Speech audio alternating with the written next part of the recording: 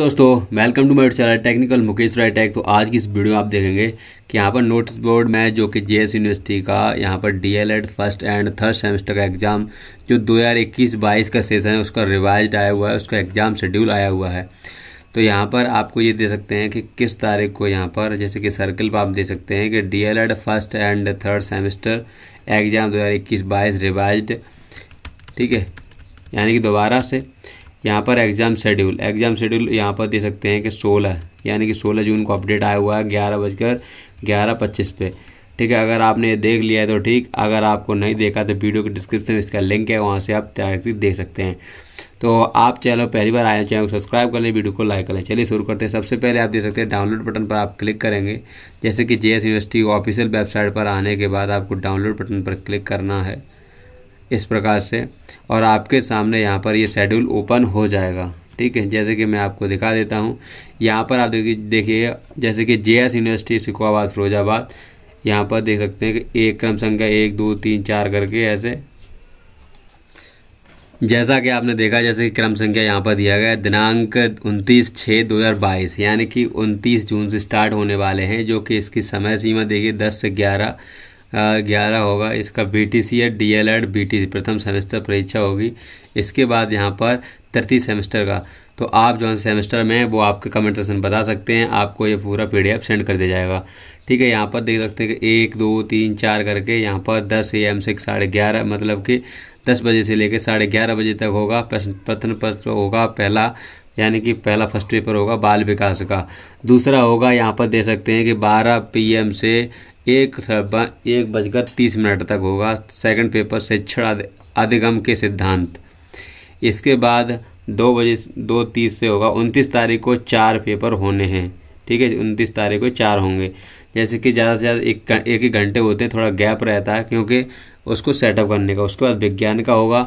यहाँ पर तीन बजे का तीस मिनट से लेकर साढ़े चार बजे तक यहाँ पर गणित का होगा। इसके बाद पाँच, दो से तीस तारीख को होगा, जैसे कि दस से, दस बजे से दस से साढ़े ग्यारह बजे तक पाँचवा पेपर होगा, जो सामाजिक अध्ययन होगा।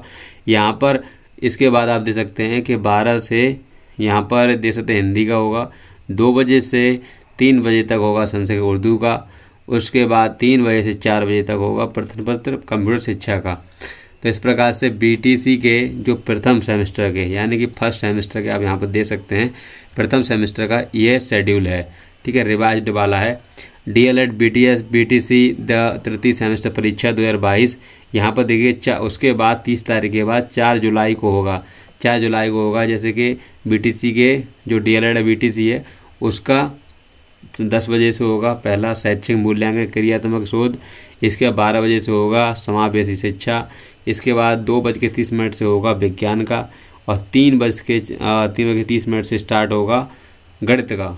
इसके बाद पाँच जुलाई को होगा। पाँच जुलाई को दस दस बजे से लेकर साढ़े ग्यारह बजे तक सामाजिक अध्ययन होगा। उसके बारह बजे से लेकर एक बजे तक प्रथम हिंदी होगा। उसके बाद आप देख सकते हैं दो दो पीएम से तीन पीएम तक संस्कृत उर्दू होगा। तीन बजे से चार बजे तक कंप्यूटर शिक्षा होगा।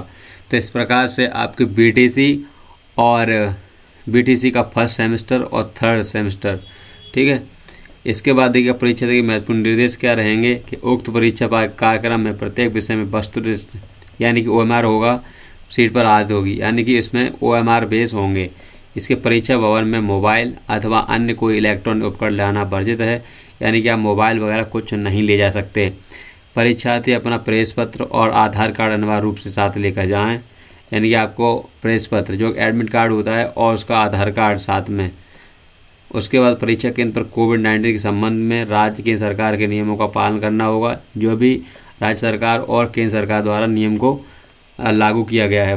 परीक्षा के दौरान मास्क पहने सैनिटाइज अनिवार्य रूप से साथ लेकर आएँ।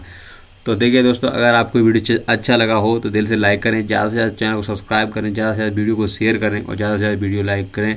इसके बाद आपको जैसे कि वीडियो ज़्यादा से ज़्यादा शेयर करना ज़रूरी है, क्योंकि जो भी आपके साथ के क्लासमेट हैं, उनको पता चल जाना चाहिए कि डी में जो फ़र्स्ट सेमेस्टर में और थर्ड सेमेस्टर में उनके लिए ये वीडियो बहुत इंपॉर्टेंट होने वाली है। तो थैंक यू सो मच मिलते हैं नेक्स्ट वीडियो में। जय हिंद और जय भारत।